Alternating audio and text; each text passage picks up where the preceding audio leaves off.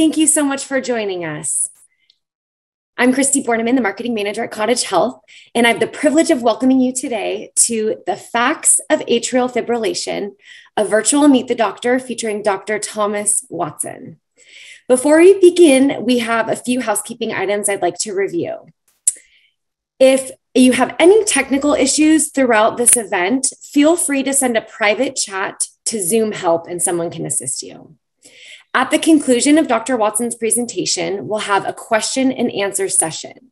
So from now until then, if you'd like to ask a question, you can submit a question via the Q&A button at the bottom of your screen. It's now my pleasure to introduce Dr. Thomas Watson.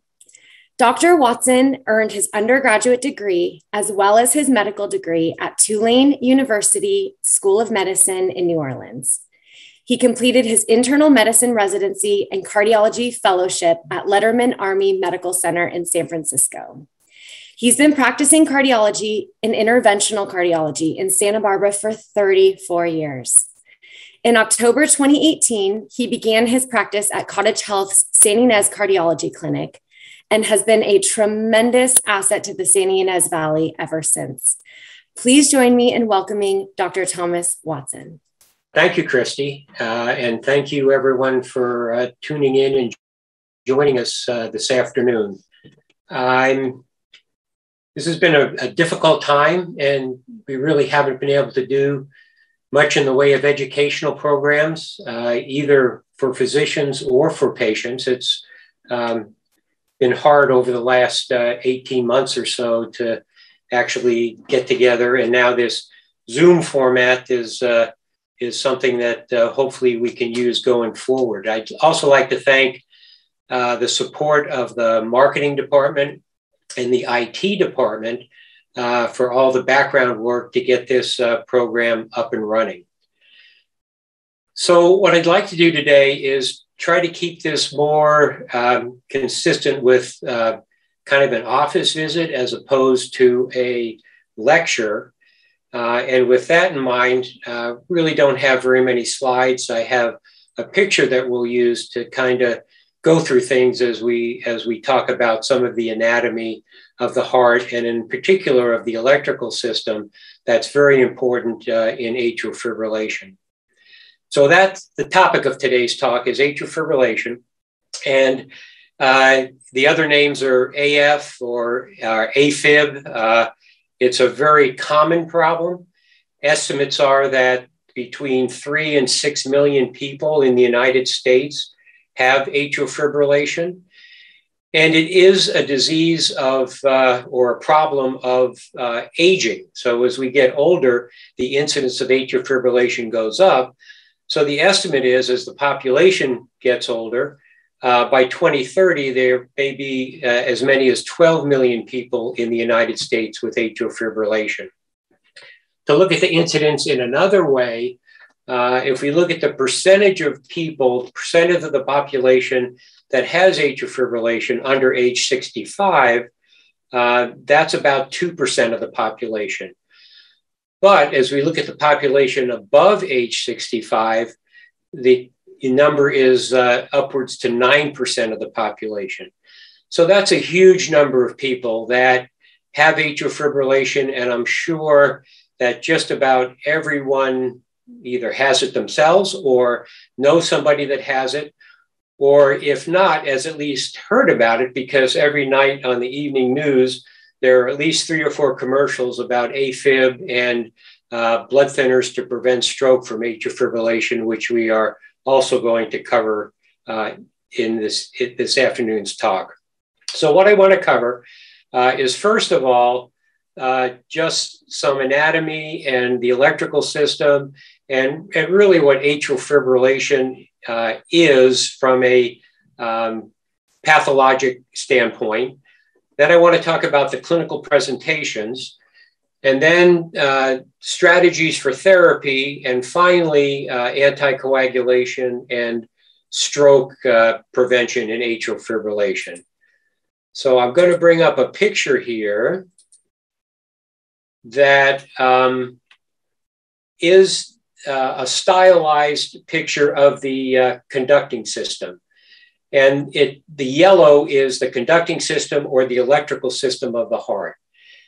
And this is a pretty amazing system. We have an intrinsic pacemaker, which is right here, that's called the sinus node or the SA node or the sinoatrial node. And it has uh, ion pumps within the membrane that bring ions across the membrane, changes the charge on the membrane surface. And as that charge changes, it generates an electrical potential that electrical potential then uh, sets up an electrical impulse that starts down all the fibers of the electrical system of the heart. The first fibers are in the upper chambers called the atria, and that makes the atrium contract, it squeezes. Then the fibers come down here. There's a bit of a pause in this node called the atrioventricular or AV node. And then the impulse is spread down into the lower chamber and make the lower chamber contract. So what we have normally is an upper chamber synchronized with a lower chamber contraction, and that's the most efficient way for the heart to pump. In atrial fibrillation, what actually happens is uh, in the electrical system, a short circuit happens. And instead of having a contraction in the upper chamber, what we now have is uh, actual fibrillation, which just means that the myofibrils, instead of having a contraction, are basically just quivering and not generating any kind of a beat at all. When that happens, there also is very chaotic electrical activity in the upper chamber. And that chaotic electrical activity comes down and hits into the AV node, which acts as a bit of a screen. And then electrical irregular activity gets through into the lower chamber. So the pulse in atrial fibrillation is what we call irregularly irregular, meaning that the beats come at any given time, and usually, especially without medications being present, the rate is quite fast. So, what we see in atrial fibrillation is a rapid, fast, and very irregular rhythm that ultimately can result in problems. So the next uh, thing to talk about then, and I'm going to actually take the picture off here for a second. Uh, and what we want to talk about now is uh, the clinical presentations of atrial fibrillation. And there are uh, sort of the clinical and the time presentations, and they, they are definitely intermeshed. One type of atrial fibrillation is called paroxysmal, and paroxysmal just means that it comes and goes. And by our definition, it comes and goes on its own, and it has to come and go within seven days. The next more difficult type of atrial fibrillation is what we call persistent atrial fibrillation. And this is atrial fibrillation that comes and it stays unless we do something to get rid of it, whether that be medical treatment, whether that be uh, a treatment called cardioversion, which again we'll talk more about a little bit later in the talk, but something needs to be done to, to make it go away. And then we have one that's more prolonged persistent. And then finally, some people who go through all of the things that we can possibly do, including medical treatment and ablations, they wind up having atrial fibrillation that is permanent and we have to treat them in a way that's a little bit different than if we can maintain a normal rhythm. The um, atrial fibrillation frequently is associated with other heart disease. It may be associated with coronary artery disease. It may be associated with valvular heart disease. It may be associated with diseases of the cardiac muscle. Uh, and those diseases elevate the pressures in the heart, do some stretching of the atrial uh, walls and stretch the electrical system. And that's what makes people more prone to development of atrial fibrillation. But I would say that the overwhelming majority of atrial fibrillation actually occurs in the absence of other significant heart disease. And that's what I was describing earlier is the atrial fibrillation that occurs in the setting of the aging process that occurs in the conducting system or the electrical system of the heart. those uh, ion pumps that I talked about, they age as well. They may not pump the ions across as well. And that's what sets up the electrical short circuit that can occur in atrial fibrillation. The clinical presentations uh, also vary. Sometimes atrial fibrillation can, be completely asymptomatic. So about 15% of people don't even realize that they have atrial fibrillation. And this, this is fairly problematic because uh, if people are in atrial fibrillation with a rapid heart rate response for a long time, they can develop uh, heart muscle uh, problems, they can develop enlargement of the heart, and they can actually develop uh, congestive heart failure. Also, if they're in atrial fibrillation and they don't realize it, they are certainly at risk of stroke, just as if they were symptomatic from their atrial fibrillation. So the asymptomatic atrial fibrillation uh, is, a, is a real problem. And you're probably aware that we now have ways to uh, do monitoring for the general population. So Apple has come up with the, the watch that can measure a heart rate, and the heart rate can give, if the heart rate goes up, there can be a warning that goes to the patients, and they can actually see that they have a high heart rate. And the Apple Watch also has the ability to do an electrocardiogram strip that can then tell us uh, whether or not uh, the patient is actually having atrial fibrillation or a high heart rate from another, another etiology. Uh, which actually reminds me, I wanted to go and show you what happens on the electrocardiogram as we see this uh, electrical activity course through the heart. This little bump here on the electrocardiogram is when the upper chamber contracts. So when the upper chamber contracts, we get this bump, which is called the P wave. The electrocardiogram is actually uh, electrical activity that is amplified and uh, sensed from the chest wall. And so we're actually seeing the electrical activity in the heart, and this is the electrical activity of the upper chamber of the atrium. The lower chamber, the ventricle, has much more uh, mass to it, much more volume, so it actually generates a lot more electrical activity. And that's why the spike associated with the uh, electrical activity of the lower chamber contraction is much bigger and much sharper. And we call that the QRS. And then this part is when the lower chamber is relaxing, and that part is called the T wave. So we use the electrocardiogram for a lot of things in cardiology, but when it comes to when it comes to rhythms, what we're looking at is the atrial rhythm and we're looking at the ventricular rhythm. And in atrial fibrillation, this P wave goes away. And instead, what we see is just a baseline that's raggedy and jagged and with no, uh, no uh, electrical activity that is apparent in the atrium.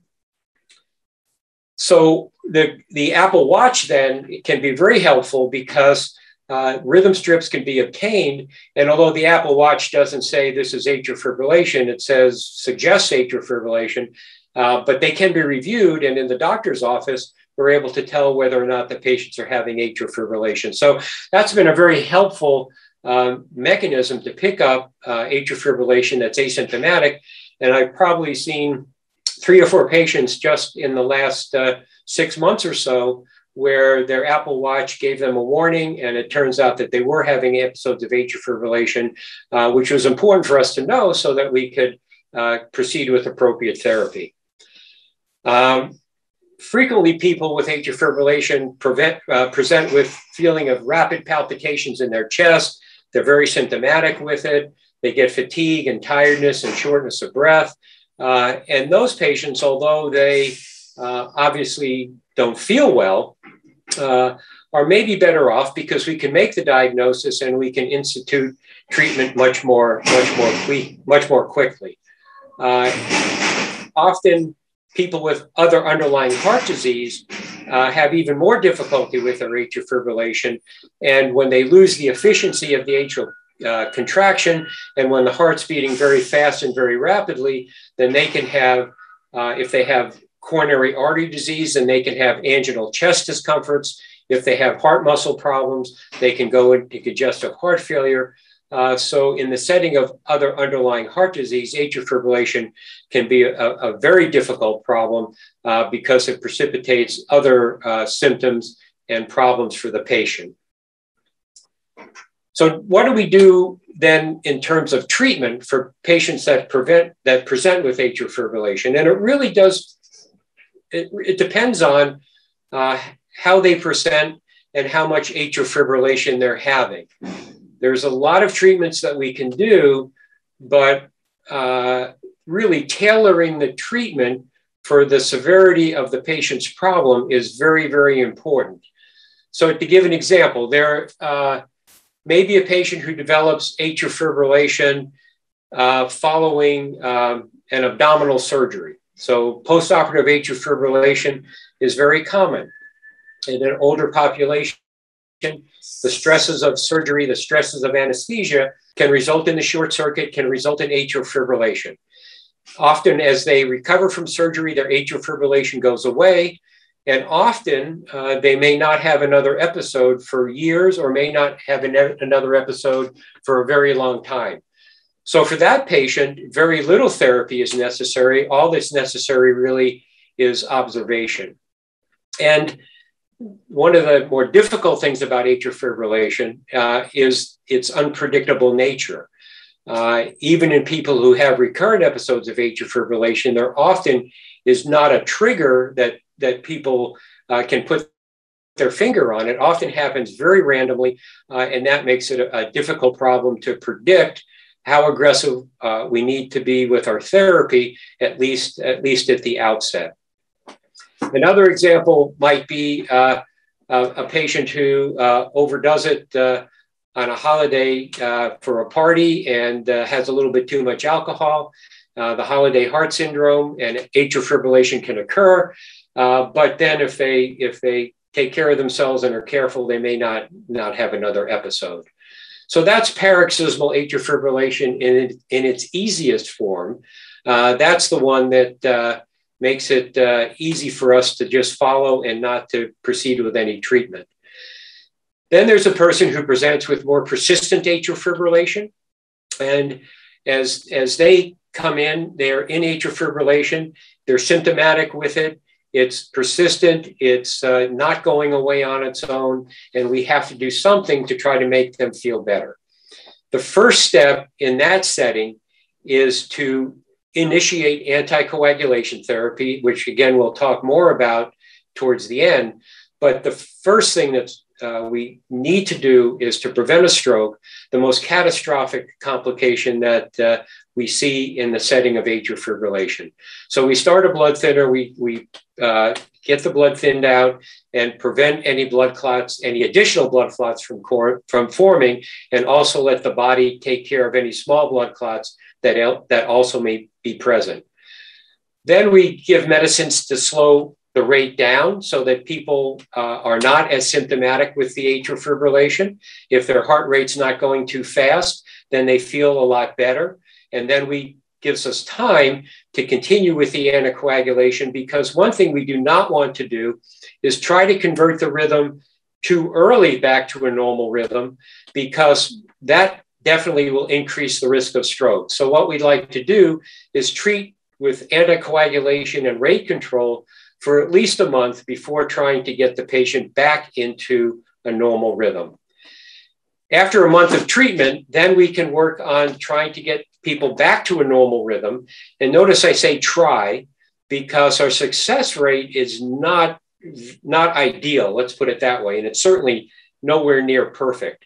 Um, if we look at uh, patients like three years or so out from an initial episode of atrial fibrillation, and we've been able to get them back into a normal rhythm, at least with medical therapy, our success rate's only about 50%.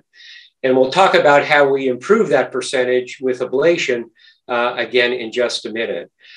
So we treat with uh, drugs that are called antiarrhythmic drugs. And what antiarrhythmic drugs do is they act as chemical insulator on that electrical system. So they help to prevent short circuits from happening. Occasionally, they may actually uh, straighten out a short circuit and people will convert back to a normal rhythm on antiarrhythmic uh, drugs alone. But most of the time, uh, our approach to getting somebody back into a normal rhythm is to do a cardioversion. And this is a shock on the outside of the chest. It's done with uh, brief anesthesia. And it's, it's very safe and, and actually very effective because 90% of people will convert out of atrial fibrillation back into a normal rhythm once a cardioversion is done.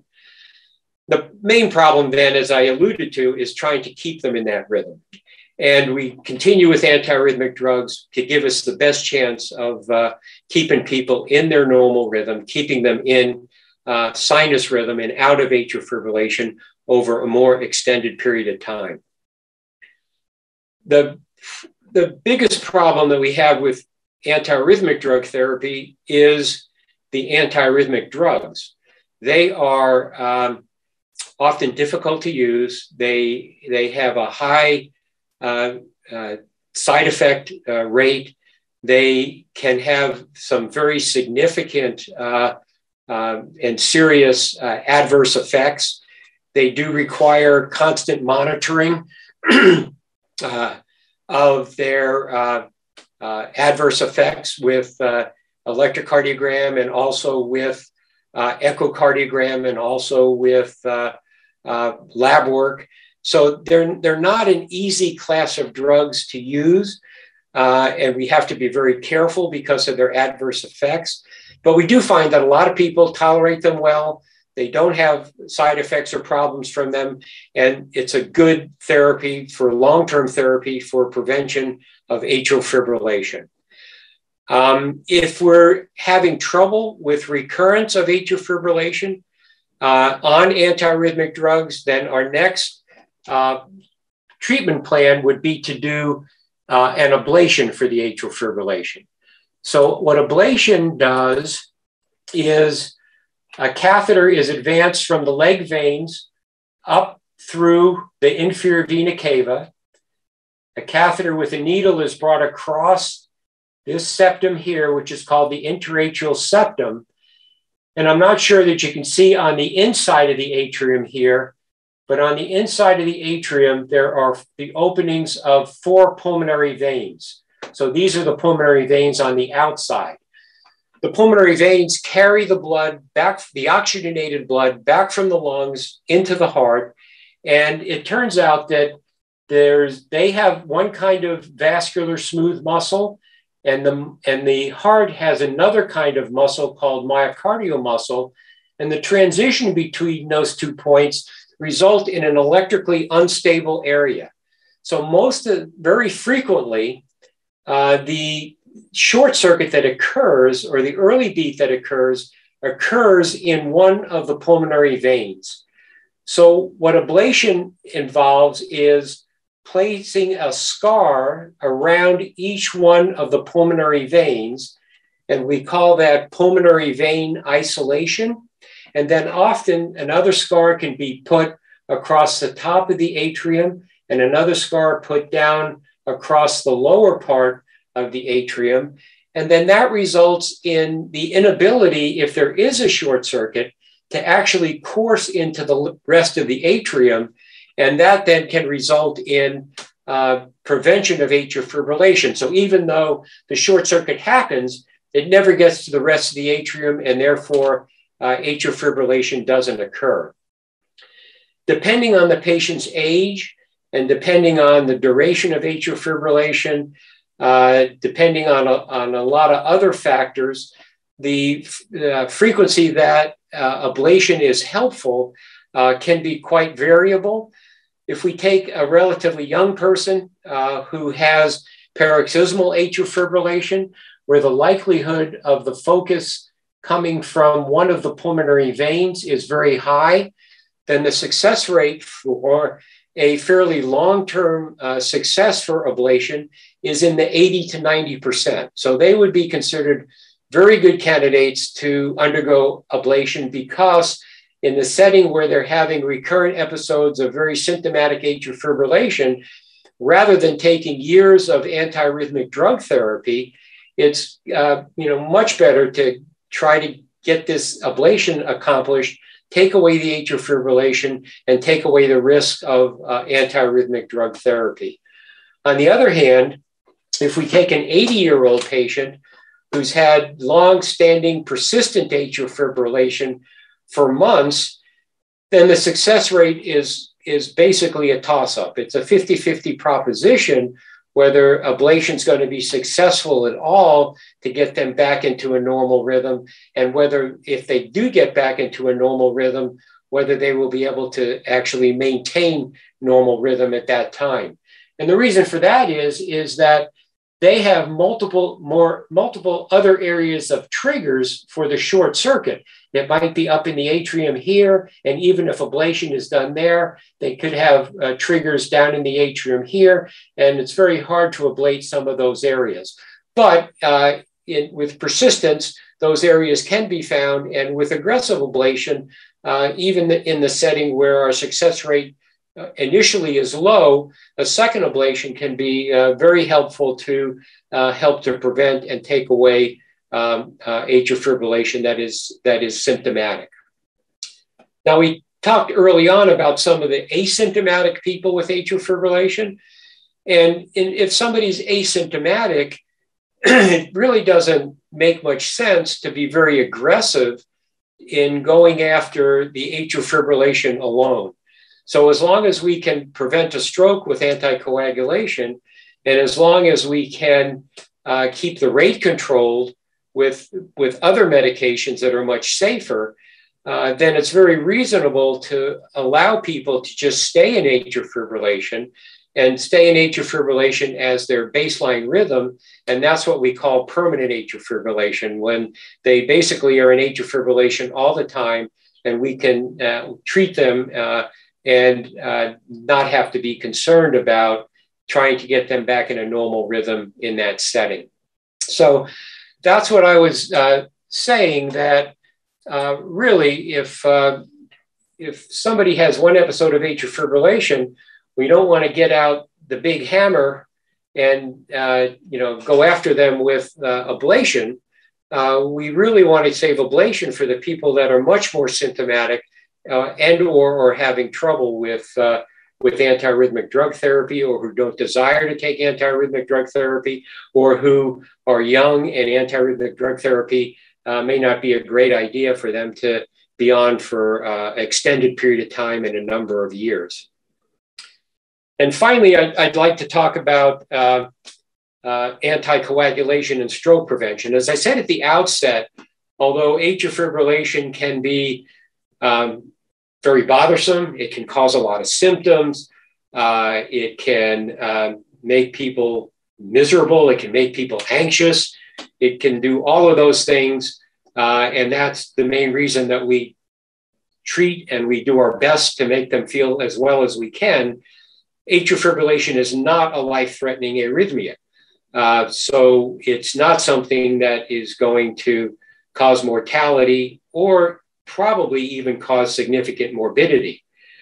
But a stroke obviously will cause significant morbidity and significant mortality. And that's the most important thing to uh, make sure that uh, we avoid and prevent in patients with atrial fibrillation. So we have uh, antiarrhythmic, I mean, we have uh, anticoagulants to treat uh, and prevent strokes. Our drug that that was that we used for uh, up until probably the last seven or eight years was called warfarin or Coumadin. It was uh, a difficult drug to use. It uh, interacted with uh, it with, with uh, all vitamin K foods. It the way it worked was the warfarin uh, prevented the production of vitamin K clotting factors from the liver. So, vitamin K in the diet, uh, it seemed like exercise, being ill, just everything uh, changed. The coagulation, uh, when people were on warfarin, it required uh, blood tests to make the adjustments in the doses. Uh, and it, it was a, kind of a difficult drug to start, and it was a difficult drug to continue. We made it a lot more convenient in the last seven or eight years as drugs have come out that are uh, uh, very specific uh, inhibitors of anticoagul or coagulation factors. and they have one dose.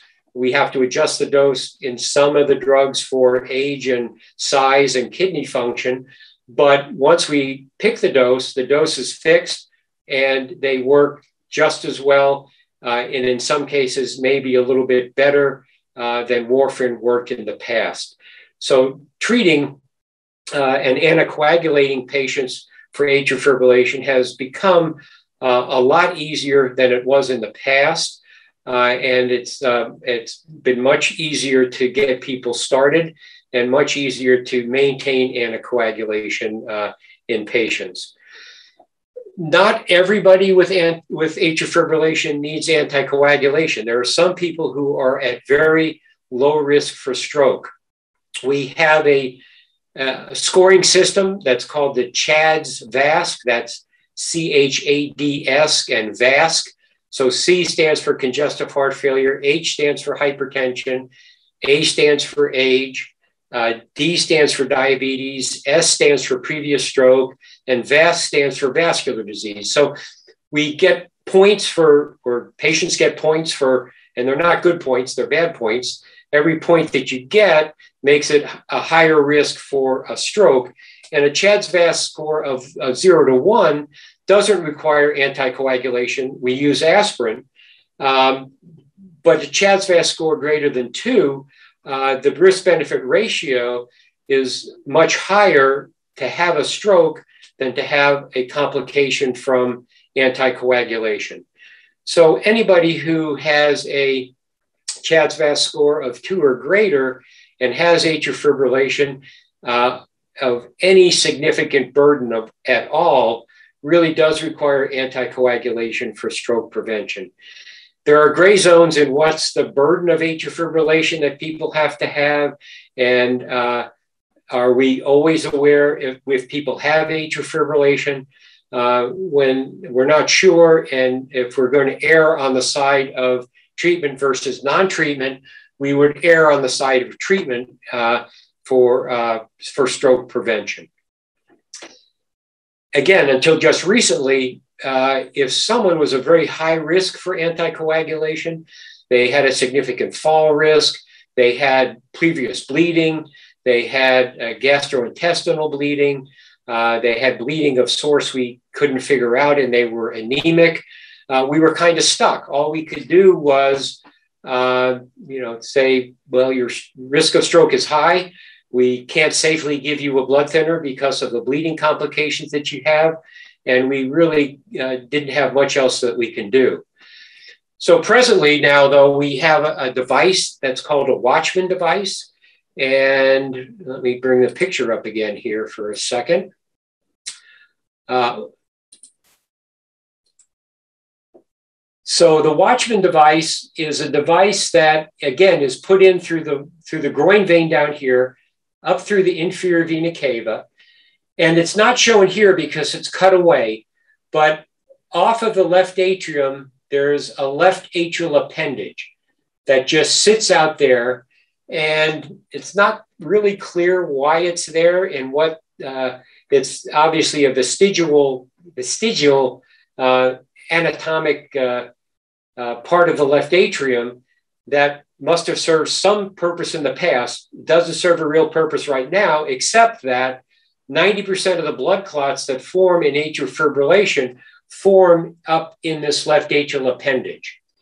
So, what the Watchman device is, it's a, a little umbrella device that's put across the septum again, brought up into the left atrial appendage, the umbrella is deployed and it occludes the opening of the left atrial appendage. It traps all the blood clots within the left atrial appendage, and then it's released there, and then the, the uh, catheter is removed. So once the Watchman device has healed, then uh, there's the risk of stroke very much approaches the risk of stroke in patients that are on anticoagulation. So it's an opportunity to prevent stroke in a patient who is at very high risk of bleeding or very high risk of injury uh, in the setting of, of, anticoagulation. Now, anticoagulation is still the gold standard. Uh, I, I don't think that um, we've gotten to the point where we think that placing a Watchman device, and again, this is just in the last few years, so we have to gather long term uh, uh, information. We have to know that not only does it prevent stroke for three to five years, that it prevents stroke for a number of years after that. And of course, with any of these procedures, there's always uh, some risks associated with proceeding uh, and doing a procedure. So we always have to look at the risk benefit ratio of everything that we do. But we do now have a, a, a Watchman device that can be put in. Uh, left atrial occlusion uh, is a treatment for stroke prevention in the setting of atrial fibrillation. So I think that I can stop there and um, we have time for some questions and uh, be happy to, to do that, Christy. Thank you so much, Dr. Watson. Um, that was a great presentation and, and just so great having all of those visuals. It really is helpful. So right now we're going to go to a Q&A session. And if you haven't already, please submit your questions via the Q&A button down at the bottom of your toolbar. Um, so I'm going to go so far, um, we have quite a few. So I'm going to go in order of receiving the questions. Um, so, Dr. Watson, the first question is with regards to uh, the term electrical that you were using in the beginning. Can you clarify what that term is? The question says, is it meant literally? What is that? Is it a nerve impulse? Yeah, so uh, it's basically um, the same uh, physics that is in the in electricity in our house. Uh, it's and not that I understand electricity that much. My undergraduate degree is chemical engineering, and I never understood electrical engineering. However, um, the the ions change. There is an actual uh, uh, differential of positive and negative charge on the cell membrane, and as that charge moves down the electrical fibers, uh, it gets to the, the muscle. And when it reaches the muscle, the, that electrical charge will actually make the muscle contract. So an, an example of that would be a uh, artificial pacemaker. So an artificial pacemaker generates an electrical charge. The lead is in the heart and the electrical charge from the tip of the pacemaker is enough to start an impulse within the heart muscle, which makes the heart muscle contract. So when I say when we when we talk about electrical, it's it's electric. It, it's, it's the same physics as electricity in the house. It's not at the same level, obviously. It's at a very low level, but it is the it is it is the same uh, the, the same mechanism which is probably a terrible explanation, but it's the best I can do. No, that's great. Thank you so much. Um, that makes sense. Um, we have a question. What do I do if I know I am an AFib? Yeah, so the, the I think the most important thing to do is uh, get attention. I mean, meeting for the first time, get attention as soon as possible. Um, I talked about the the need for uh, anticoagulation for a month before dealing with uh, with the actual rhythm. If if you get in within the first 24 and possibly by the first 48 hours and the diagnosis is made, then anticoagulation can be started. And if we start anticoagulation in the first 24 to 48 hours, then uh, we can start treatment for the rhythm right away. We can start antiarrhythmic drug therapy. We can do a cardioversion. We don't have to wait the uh, empiric uh, 30 days uh, to proceed with cardioversion. Now, having said that, there's also way, another way around the 30 days. So if someone comes in, uh, they're very symptomatic, and even with rate control, they're still very symptomatic. They haven't been anticoagulated for 30 days, we can do what's called a transesophageal echocardiogram with cardioversion. So, what a transesophageal echocardiogram is it's placing the uh, echo probe in the mouth, down the esophagus, behind the heart. From that view, the left atrial appendage that I just talked about can be visualized. We can't see the left atrial appendage from the transthoracic view, but from the transesophageal view, we can see the left atrial appendage. We can see if there is clot and or thrombus in the left atrial appendage. And if it's, if it's not there, then it's safe to go ahead and do a cardioversion if it needs to be done. Again, the issue with that is uh, it's a fairly big probe down the throat, and you know th- there really needs to be uh, uh, symptoms to warrant proceeding with that. But the most important thing is to seek medical attention as quickly as possible. Uh, and again, the most important reason for that is not because it's life threatening, uh, but because if anticoagulation can get started, we can very quickly move ahead to do other therapies besides just rate control and anticoagulation with a view toward further treatment down the road. Great, thank you. So we have a question about exercise and AFib. How does exercise affect AFib? Well, I think I think it's uncommon. It's pretty rare for exercise to be a trigger for atrial fibrillation. Uh, fortunately, um, you know, certainly adrenaline that occurs with, with exercise, uh, and adrenaline adrenaline does affect the rate of conduction and and the uh, uh, impulses in the electrical system of the heart. It does affect heart rate, but most of the time it doesn't act as a trigger to actually cause atrial fibrillation. So it's a much more difficult problem when exercise is a trigger, but it's uncommonly a trigger. So the overwhelming majority of the time is that exercise is just fine and exercise is recommended. And in fact, exercise over the long haul with endorphins released and the relaxation effect of, of exercise may well help to prevent the unpredictable episodes of atrial fibrillation that people get. So, um, you know, again, unless it's clear that it's a trigger, exercise is great and exercise is good for everybody and it's it's also good for people with atrial fib great we've had a couple questions um, people asking for you to spell out what chads refers to again Chad. yes it's, it's just the eponym for for c for congestive heart failure a for a c h h for hypertension a for age d for diabetes s for stroke so that's chads and then if somebody has congestive heart failure if somebody has hypertension, each one of those is a point. Age over 75 is two points, and, and diabetes is a point. Stroke is two points. VASC stands for vascular disease, that's one point. So then we add all those points up and we get the score.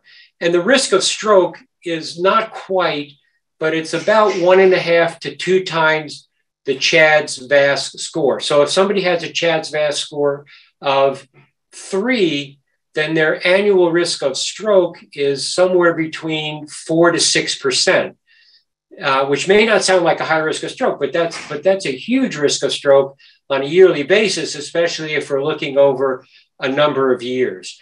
Uh, so because of that, that's why we use anticoagulation. So it's it's really the diagnoses that the people have that patients have, and then we just assign the number to that and then we come up with the score, and that score predicts the risk of stroke. And then, based on that risk of stroke, we decide about the need for anticoagulation. Okay, great. And then, how safe is it to go off the anticoagulant for short duration for things such as dental work or colonoscopy? How long is it safe to be off the anticoagulant? Yeah, so it's never perfectly safe, but obviously, we often have to do it. So colonoscopy, especially if there's going to be risk of a polypectomy, because that's uh, it's very hard to um, put pressure on a bleeding site in the in the colon. Um, and if somebody's going to have surgery, they obviously have to come off because we have to have bleeding stop in and around the time of surgery. Uh, dental work you mentioned, and I would say that we should be able to do all dental work on anticoagulation. Uh, these days, the dentists feel very comfortable. Again, there may be more oozing, but that's not going to be life threatening. So the safety factor is that it's not perfect, but the risk is not very high. It's a lot easier to do with our current anticoagulants because we can just stop a couple of days before. They wear off pretty quickly. We can start them when it's safe after the procedure, and they, they reach an anticoagulation state very, very quickly. With warfarin, it took a long time to wear off. It took a long time to get started again. We had to do what was called, often had to do what was called bridging with other types of, ant- with, uh, with uh, subcutaneous injections of anticoagulant. So it's a lot easier now. And the risk is, uh, you know, uh, kind of on a weekly basis, probably 0.1 to 0.2%. So it's very, very small. Uh, and we do it all the time. And um, it's very rare to have a complication from uh, being off anticoagulation for a short period of time. Great. We've had some questions about um, the Apple Watch that you mentioned. Are there any other at home um, type uh, monitoring and, and, and specifically a question about the Fitbit smartwatch? Does that also serve the same purpose that an Apple Watch does? Yeah, so I'm not I'm not completely uh, versed on the Fitbit. I know the Fitbit does have a um, a monitor in it and gives a high heart rate uh, warning, but I don't think the Fitbit has an E an EKG, an ECG in it. Um, so, uh, in order to really document what that was all about, because uh, part of the concern is that there's there may it may be artifact, and it certainly is possible that it's just artifact and it's nothing, and it's not an arrhythmia, and it and it's just junk, and we don't want to get all excited about junk necessarily. Um, but you know, it it may be enough to warrant doing more formal monitoring. So, from a from a from an office standpoint, we have what are called vent monitors, which are basically patches that are put on the chest wall, and they monitor the heart uh, for 30 days continuously uh, through a central monitoring center, and we can tell for sure whether people are having atrial fibrillation through that system. The other at-home system, though, is uh, um, uh, called Kardia, K-A-R-D-I-A, uh, and it is an, an app. The app is free, but the um, uh, two prongs to put your fingers on to send the electrocardiogram strip to the monitor cost about $100 so that's another good way. It, it's not it's not continuous but it's a way if somebody's having a feeling of palpitations and they're wondering what is this about it does record a nice rhythm strip to be able to be reviewed and to see exactly what what's causing the palpitations. And i'm not really sure if there's uh, another uh, EKG uh, mechanism out there or not. But but the Kardia is one that uh, again a, a, lot of people have and a lot of people use, and it's it's also helpful in people with, that we've diagnosed atrial fibrillation. One of the things that I alluded to earlier was that you know does does everybody that we've ever diagnosed with atrial fibrillation have to be on a blood thinner? Because clearly, if they're not in atrial fibrillation, their risk of stroke is not any greater than somebody that's not in atrial fibrillation. Our worry is, though, that people who have symptomatic atrial fibrillation may also have episodes of asymptomatic atrial fibrillation.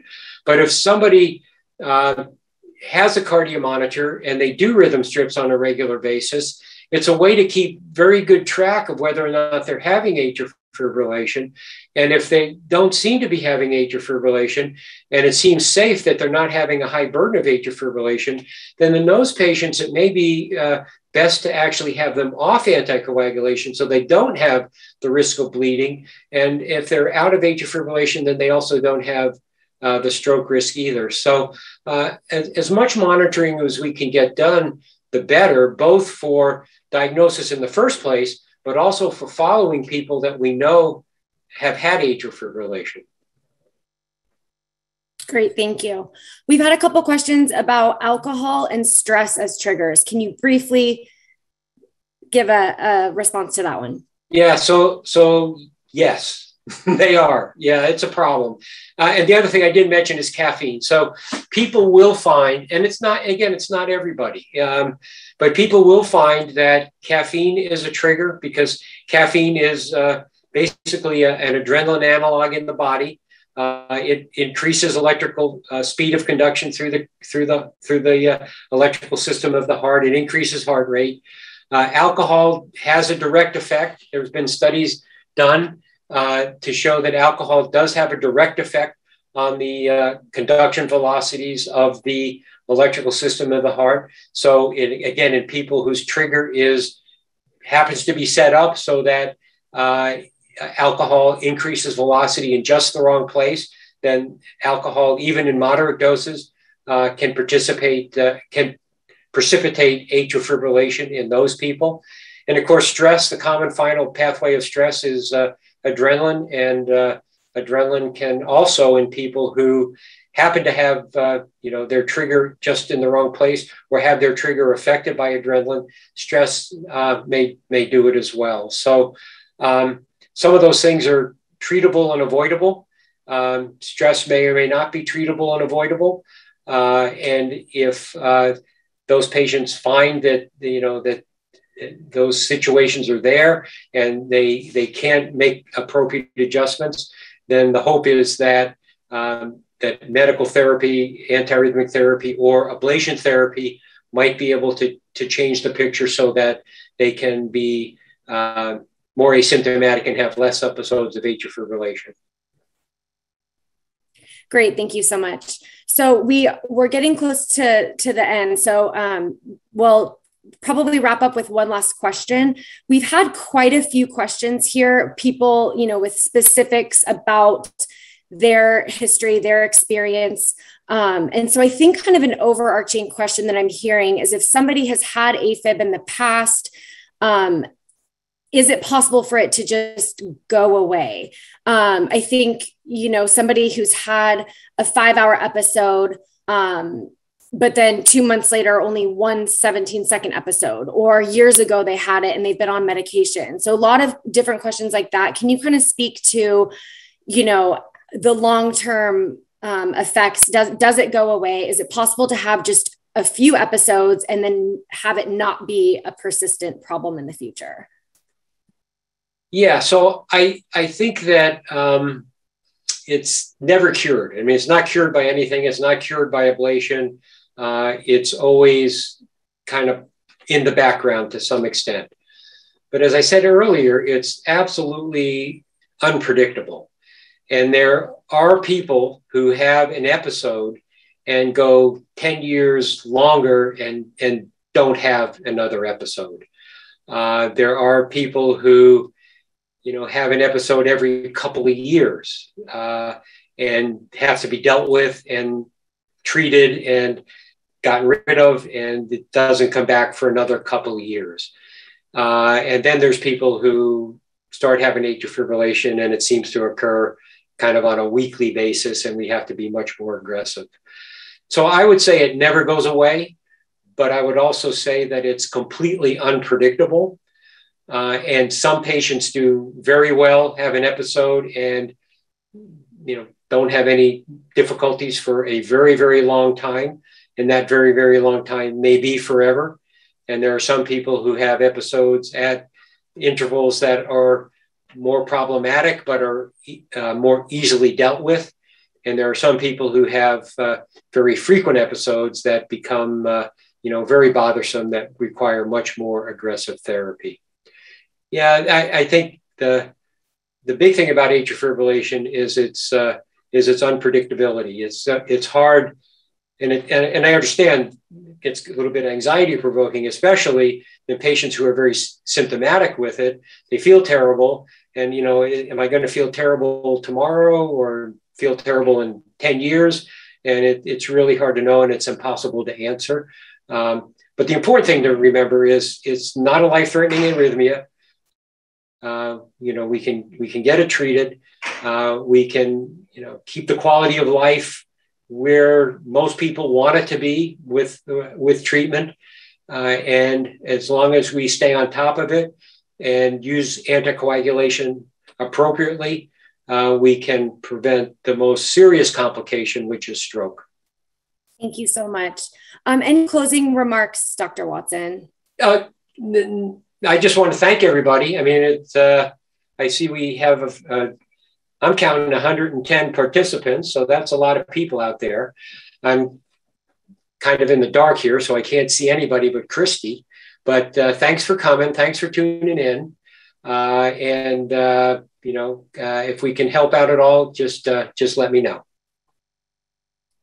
Thank you, Dr. Watson. And I do want to say to those of you, thank you for submitting all your questions. Um, we we got to as many as we could. Um, and what we'll do after this presentation is send out some resources for you all. Um, and also, I wanted to, to mention that Dr. Watson serves patients in Santa Ynez Valley, and he's at the Medical Cardiology Outpatient Clinic. Um, his address is here on the screen, 2040 Viborg, and his phone number is right here on the screen. So, again, thank you to all for being here and for your really great, great questions. Thank you, Dr. Watson, for a wonderful presentation, so informative, um, so important um, for the community, and, and such a great topic. So, Thank you. And we will see you. And I do want to mention there's a survey after this. So please do provide any feedback to us. Um, we would really appreciate it. Thank you so much. Have a great night.